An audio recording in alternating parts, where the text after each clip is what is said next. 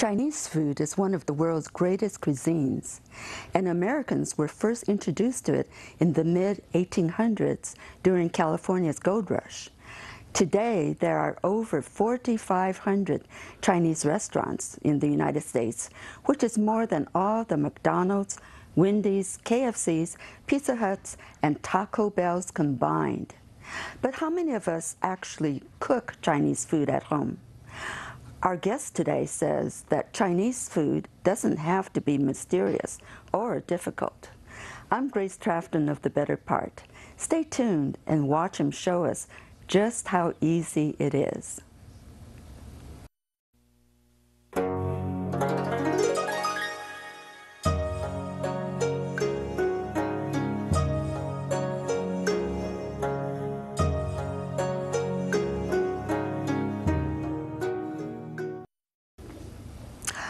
Our guest, Chef Kenny Lin, immigrated to the United States with his wife Winnie more than 40 years ago. They settled in Kentucky, a place not particularly known for its exotic ethnic cuisines. But that's where he opened not one, but two successful Chinese restaurants. More recently, Chef Kenny published a cookbook titled Chinese Restaurant Recipes for the Home Cook. Let's go watch him in action. Hello, Kenny. Welcome. Thank you. Thank you for coming today. I'm glad I'm here.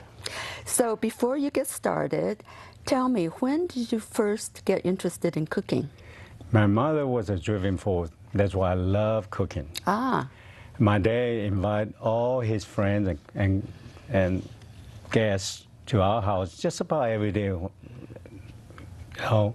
So she trained me well in the kitchen. ah. So, you were interested from the time you were a small child? Yes. Ah, wonderful. So, have you been a, a professional chef all your life? I really started training to be a professional chef during uh, 1976. I learned under my childhood friend in Vallejo, California. Ah, in Vallejo. Yeah, yeah. Was since- there a good cooking school there? Is that why you went there? Yeah, he has a couple, several Chinese restaurants. you know, Oh, I so see. and that's uh, that's perfect for me. I see, I see. So, how did you happen to settle in uh, Kentucky when you first came to the United States? Well, we started because my wife, um, she was attending a school there, Illinois State University. So I came join her after service. Ah, you were in the service. Yeah, I was in the service. I was a Chinese Air Force Oh, officer. I see. Yes. Oh, you were. Yeah. I see. And so, so that's why you came to Kentucky.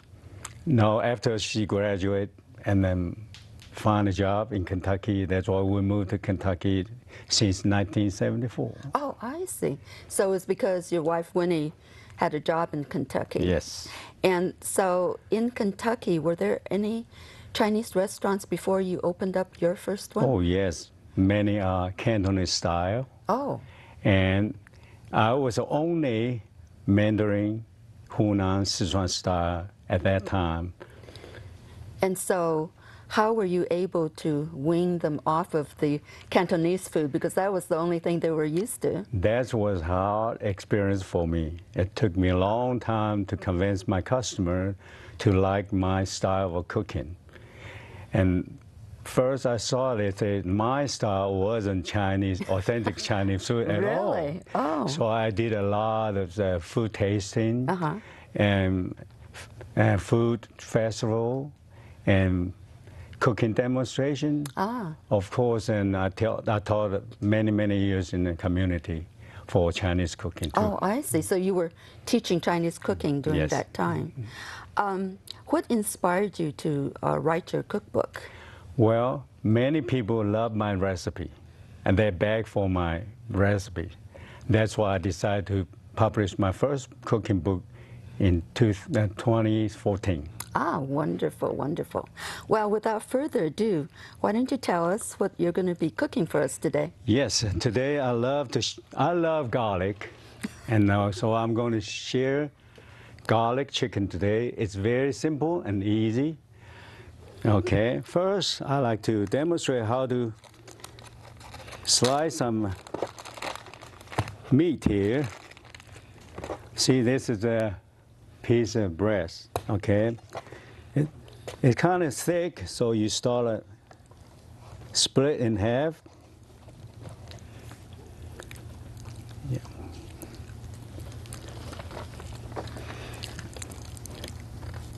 And how important is it to cut the pieces just right? Well, it's very important because stir fry, you use a high heat, high heat. If you don't have enough right thickness, or too thick or too thin, thin is okay. Too thick, it's hard for you to cook the raw meat perfectly. I you know. see, I see. And today I use a di- diced chicken, you know.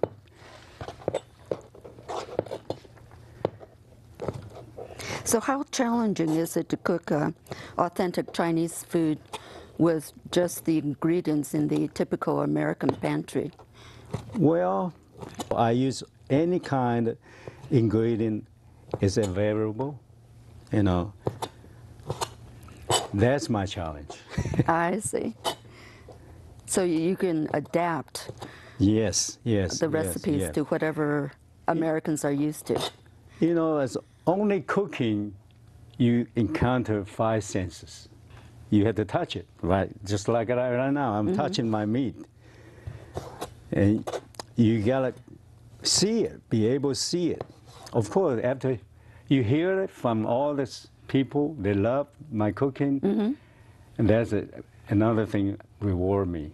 And it smells good Oh, I bet. colorful and freshness. That's that's my So it touches all all your senses. Yes. Not just the that's- taste buds. No, that's the only thing you know in cooking I love about really take all the five senses.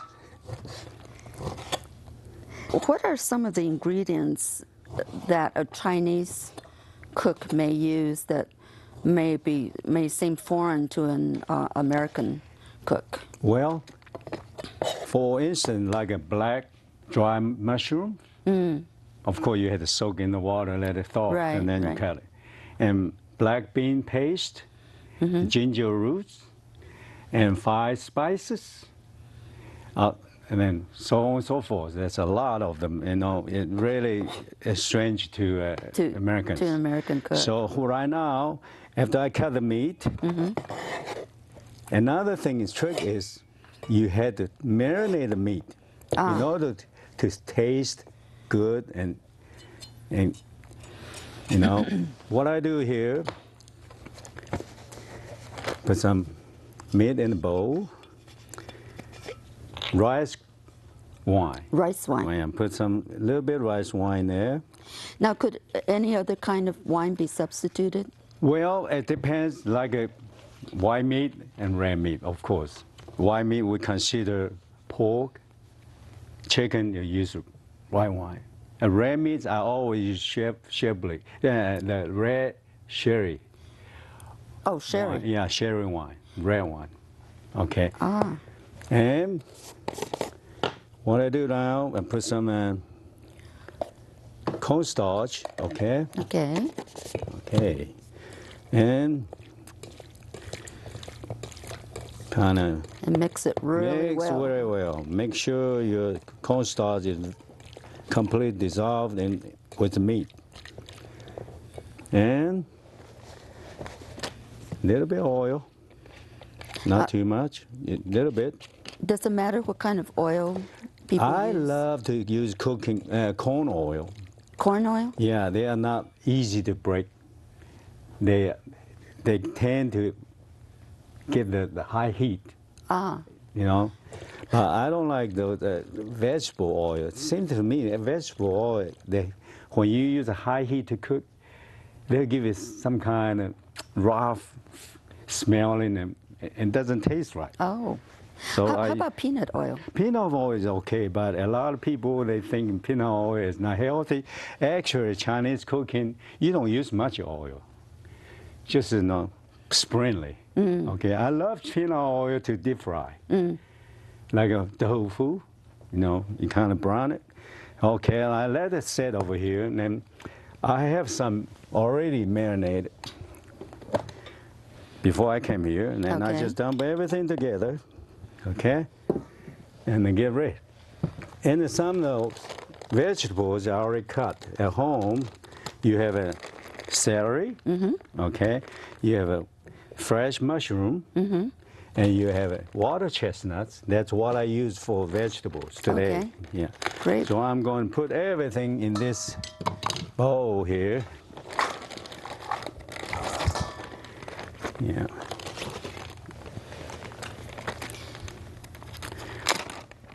Because later on I'm going to stir fry with everything together. So when you're chopping up the vegetables, are you always trying to get them about the same size? It's pretty much so. Yes, you're right. You're right. Yeah. That's.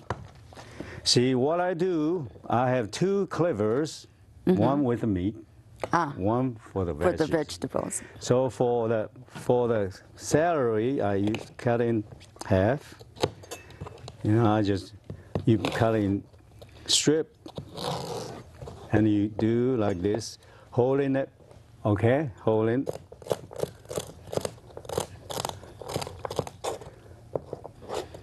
Make sure everything is in in order.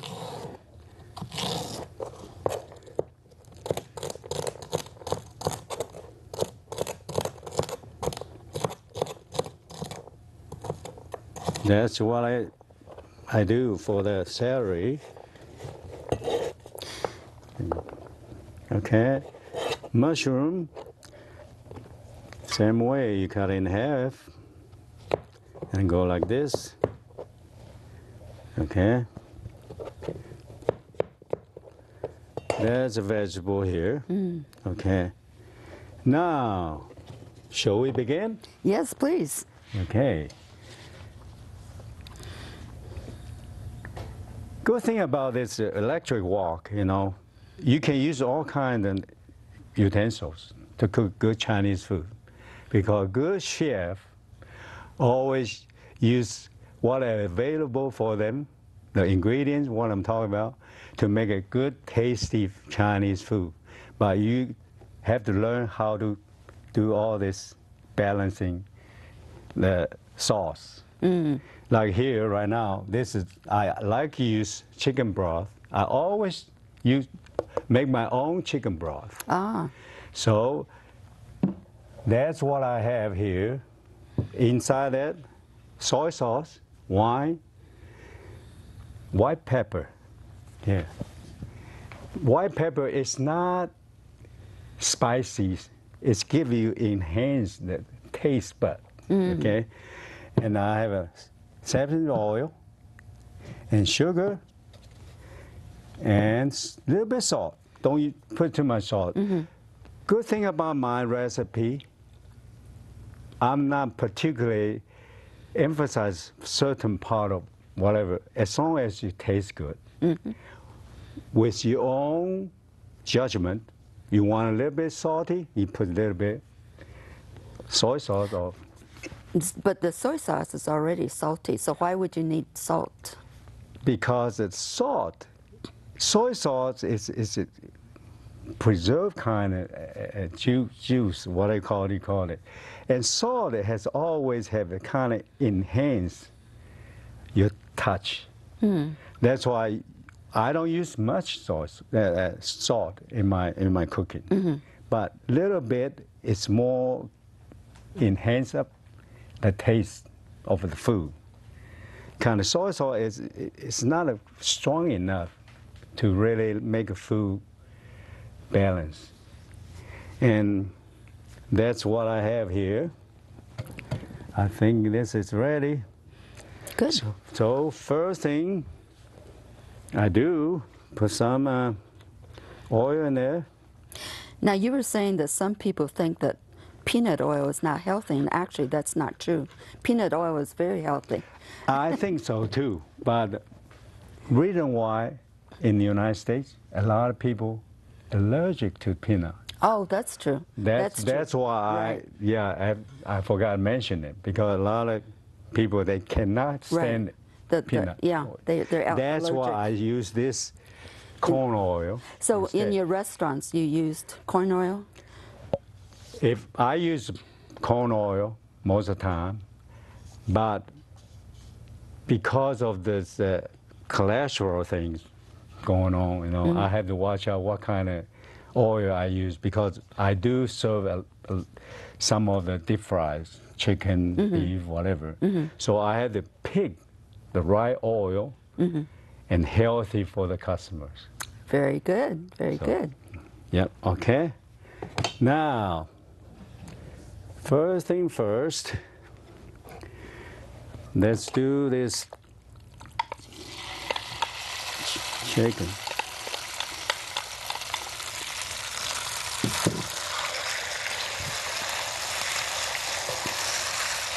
You stir fry until the chicken turn into white color. That Okay. means that's complete cook. See, that's uh, usually in the restaurant they have right equipment, high heat, very high heat, so very quick. You have to serve very quick. But electric wok is safe. if you you don't have any confidence, because it take it will take a lo- little bit longer Right. to, to cook the meat. Right. So in the restaurant, do you use a flame? More very high frame, very High high flame, frame. not yeah, electric. Yeah, and they always flip all the time. Ah, yes, They- I've seen that. Yeah, that's because high heat. Otherwise, you burn your food Right. very quickly. So did you do that in the restaurant? You flip? Oh yes, gotta have a very strong. Very strong. Oh yes, flip all the time. Work up an appetite too, I bet. Oh yes, yes. And that way, no reason why that the restaurant food is much tasty because of high heat Mm. and quick stir Mm-hmm. and a good sauce. Mm. Okay, a good sauce really makes a lot of difference. Oh yeah, I bet that makes all the difference in the world. Yes. So I know I noticed that you were using cleaver for Yes. chopping. So Americans often aren't used to using cleaver. So Well- can they just use regular Yes, it, it, it, as long as the knife is sharp. sharp? okay? Because sometimes you use a regular knife to cut the meat. It seems like meat slides on you. Ah, So that's why another technique you have to hold the meat with your claw ah. and with your knuckle to move. Oh, I see. See, that way you use a cleaver. Oh, I see. So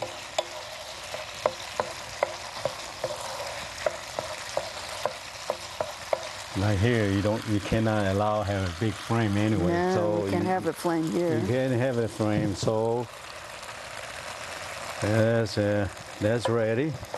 Oh, I got this. Good. I got this.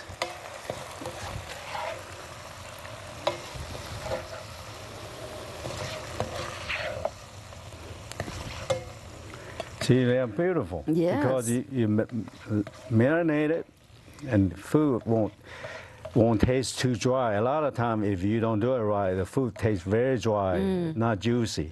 Now, how long should should you marinate it? Marinate it usually, you know, about 10 minutes. Okay. You you do it before.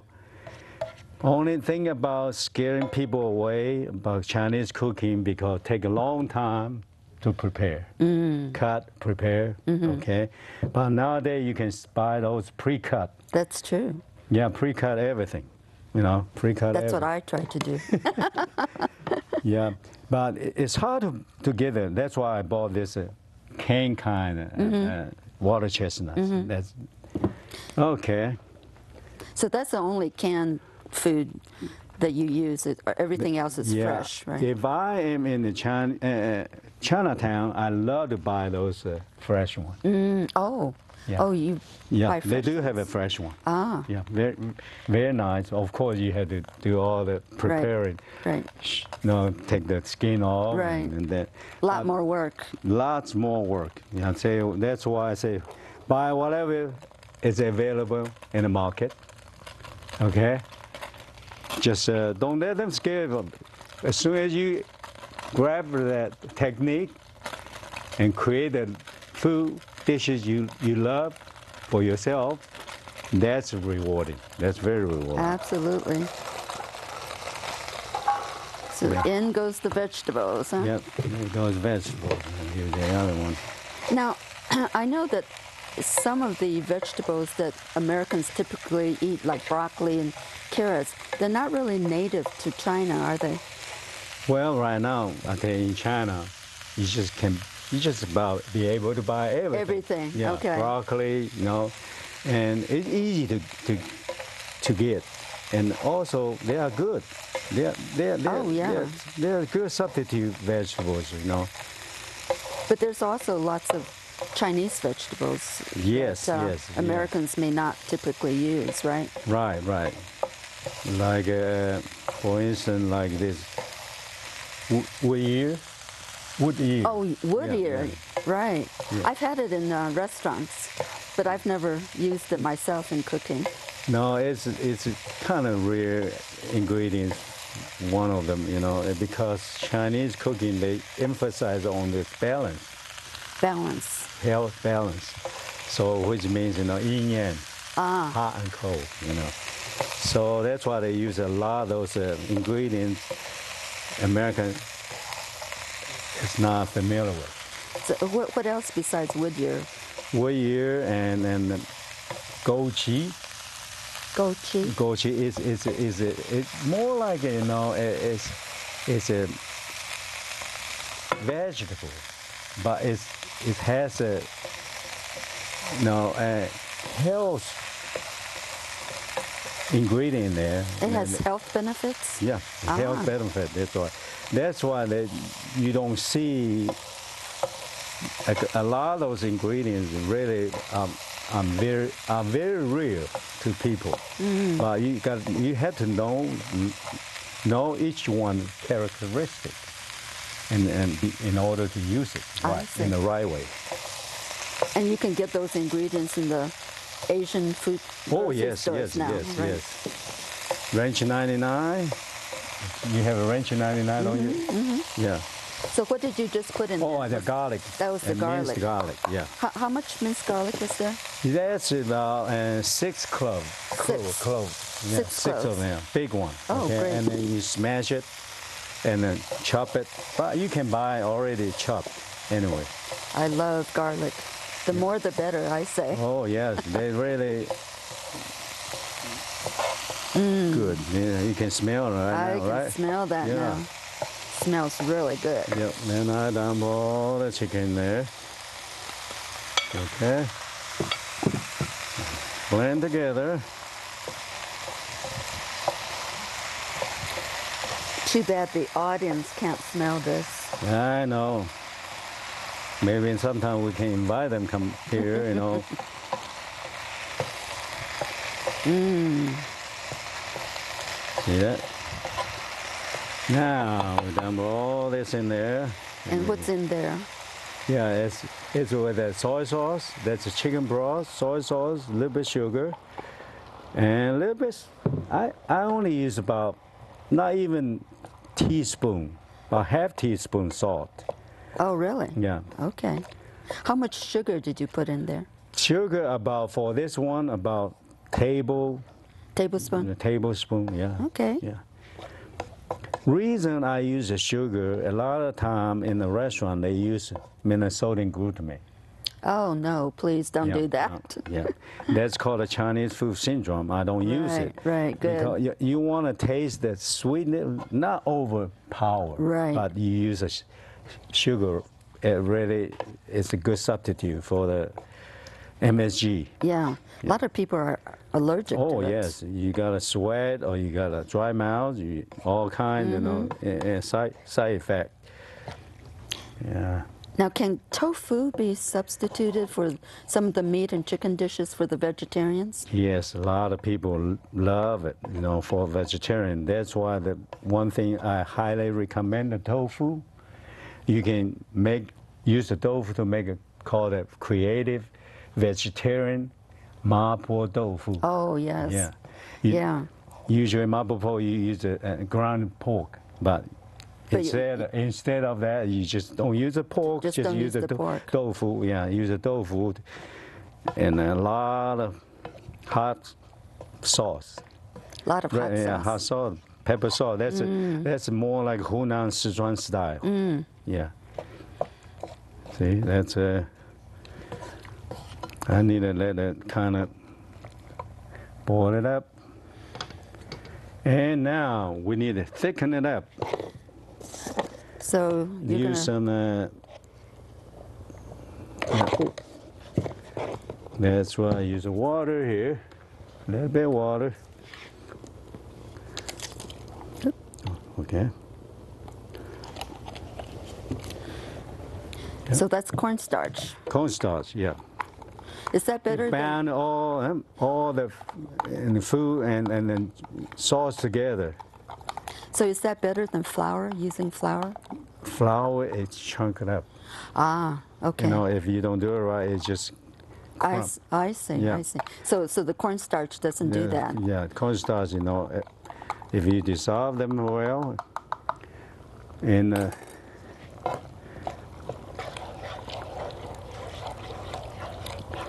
and then circular motion.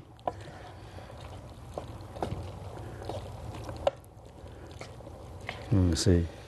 Hmm, good. Use this.